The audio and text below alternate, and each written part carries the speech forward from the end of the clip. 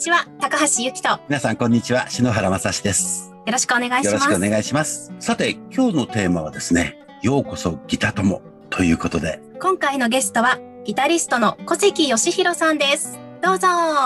こんにちは。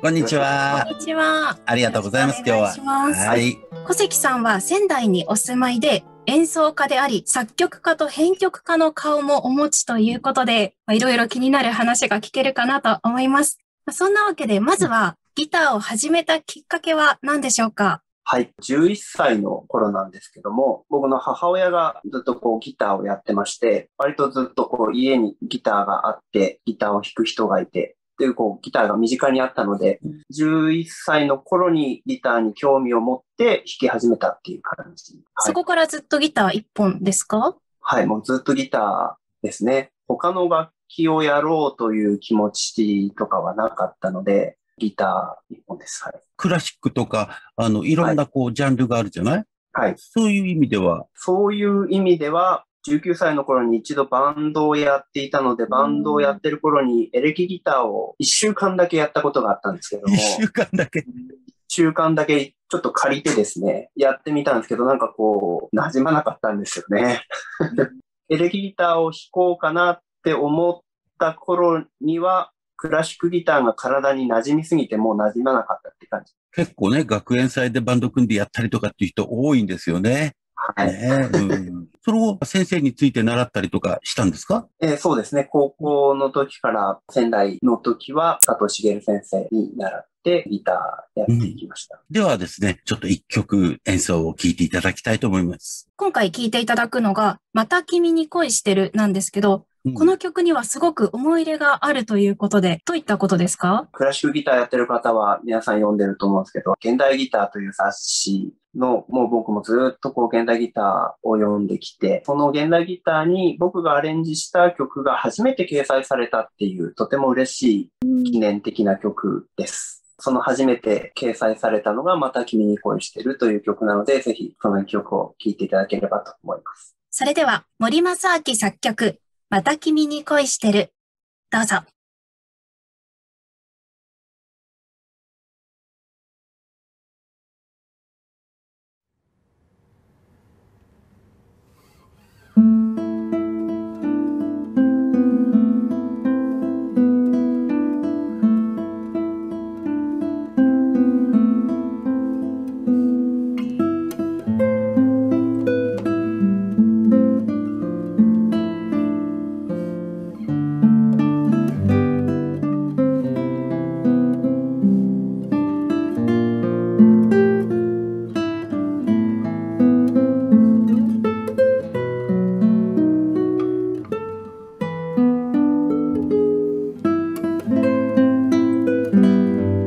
うん。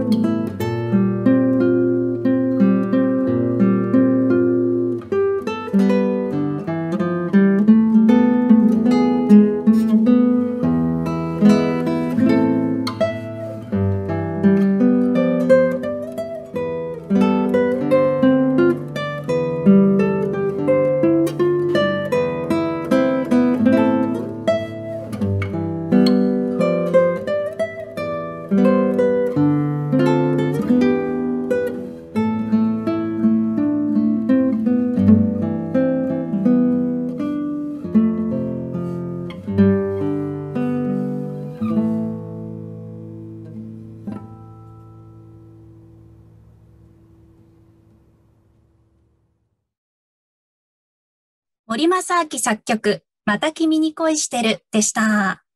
はい、小関くん、若いよね。そうですね。10年前の演奏ですので、はい。うん、まあ今も若いけどね。いやいや10年、10年経ちましうんた。はいさて、小関さんが編曲を始めるきっかけになったのは何ですか、もともと竹内則康さんっていうギターのうん。有名なアレンジの方の楽譜をずっとこう見て、有名な曲、ポピュラーな曲をギターで弾くっていうことを、とても僕自身が好きだったので、そういうふうにアレンジを自分でもしてみたいっていう気持ちはずっとあった中で、今回このまた君に恋してるっていうのを現代ギター社から依頼された時はもう本当に嬉しかったという、うんそこから始まっていったという感じですね。また作曲をしていくっていうところはどういったきっかけだったんですか？これは仙台だったり、えー若い時に周りにいた音楽家の先輩たちが、ピアノの方も歌を作る方たちも、えっとアレンジをしたり作曲をしたりっていうのは普通にやっていて、僕にとってはその全てやることがスタンダードというか普通なんだっていううん。流れの中にいたので、作曲をしたいと思ったり、あの、アレンジをするということもしたいっていう気持ちはもうずっとあった中で、やはりきっかけが仕事の中で作曲を、もう先輩からここの曲を作ってって言われたら、はい、頑張りますって言うしかないみたいな。うん。もうそれがきっかけといえばきっかけなんですけども、やはりギター弾きなので、そのギターの曲を作りたいっていう気持ちがあって、その中で佐藤博和先生のはい。まあ僕はあの、習ったので先生とどうしても言いたくますけども、佐藤弘和先生の曲に憧れて、こういう曲を自分でも作ってみたいって言って、ギターの曲を作っていくっていう風になりました。確かにね、ギター弾きはあの、歌の伴奏にしても何にしても楽譜がないので、アレンジというか、ちょっとした編曲はもうやらざるを得ない。はいだ。けど、なかなかね、作曲までというと、なかなか大変なことですよ。はい。そんなわけで今回はいろんなきっかけをお伺いしたんですが、次回はさらに深いお話をお伺いしていきたいなと思いますので、皆さんもぜひ楽しみにしていてください。今回のゲストはギタリストの小関義弘さんでした。ありがとうございました。ありがとうございました。ありがとうございました。次回は来週日曜日に配信します。皆様ぜひチャンネル登録お願いします。Twitter、Facebook もチェックしてくださいね。それではまた来週お会いしましょう。さよなら。